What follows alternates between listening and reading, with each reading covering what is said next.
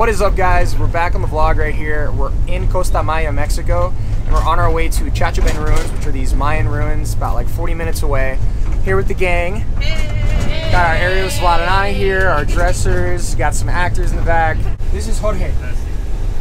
Mucho gusto. Mucho nice gusto. to meet you. It's gonna be a great day. Might go to the beach after, get some food, and look at some stuff. Tag along, hope you enjoy it. So, Jorge's family's uh, Mayan. Oh yeah. So he's teaching he's teaching us some uh, Mayan uh, phrases. Malokin. Malokin. Malokin means good morning. Good morning. Malokin. Bishanech. How are you? How are you? Visha- Vishanech, yeah. Vishanech. How do you say thank you? How do you say? Malo. Malo. Hello. Malo. Malo. Malo. There you go. Just made a little pit stop at this uh, gas station right here. What are you drinking? Oh baby, got myself a mocha cappuccino. All right. That's what Let's see what we got. Mm. Oh yeah.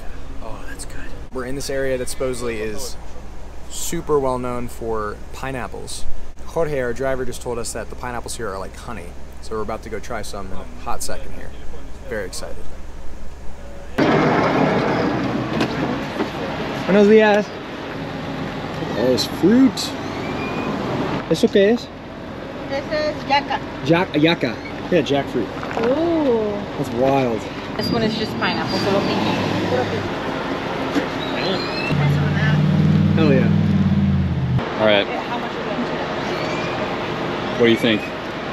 Delicious. This one? What? I can smell Oh, it no. from here. Oh my god. Давай. Okay. Давай, давай. This is some of the sweetest pineapple I've ever had in my life. I gotta try some.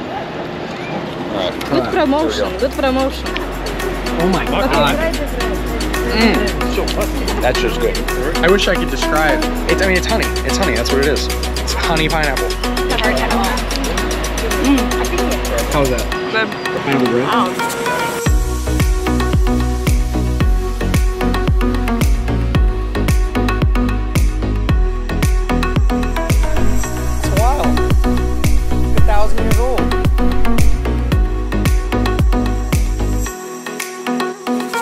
When you're friends with the aerialists, they always show off. Biggest show offs. So I read off this nice little summary I found online, but Chacchoben is called the place of red corn.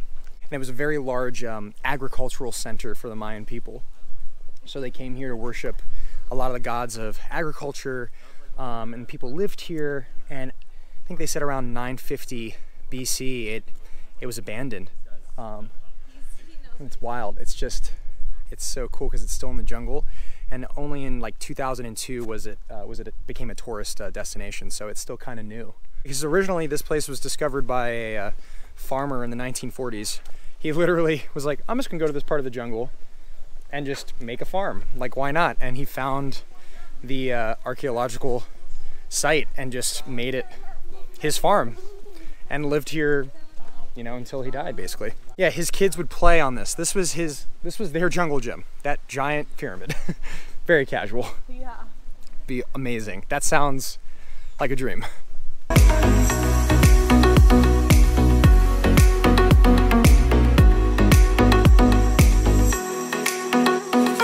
I, uh, I used to live in Korea, and for one one Christmas, my family and I we went to Cambodia and got to visit Angkor Wat, and it was just still you know covered in in trees and vines, and we even went to some smaller temples, and this is reminding me of just just that.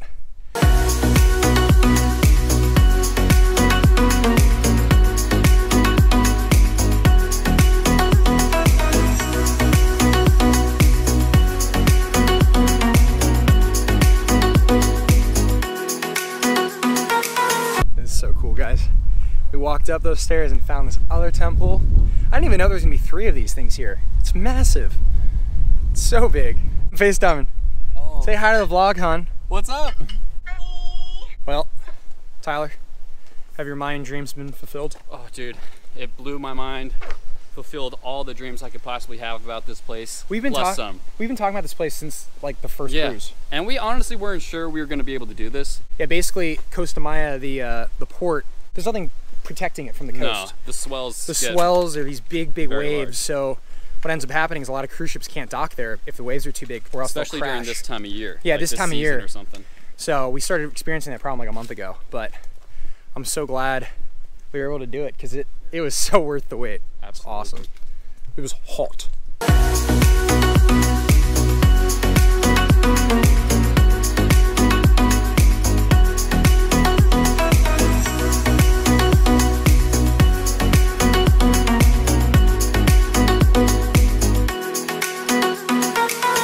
Made it back after an amazing day in Costa Maya. We've been wanting to go to those ruins for forever, and I'm so glad we got to do it. Making it back on the boat with 10 minutes to spare. We have to be back on 30 minutes before the passengers, so we're barely making it. The matter is, we made it. It was a great day. Hope you guys enjoyed it.